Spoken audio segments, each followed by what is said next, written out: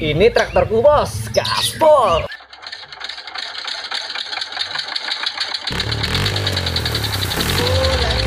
Oke, langsung saja tutorial.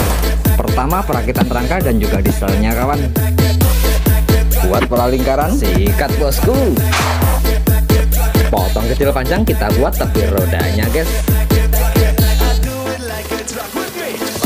Lanjut pasang tuasnya, masukkan kanan kiri.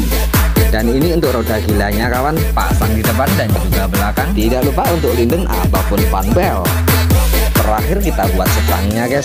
Pasang di belakang kanan kiri.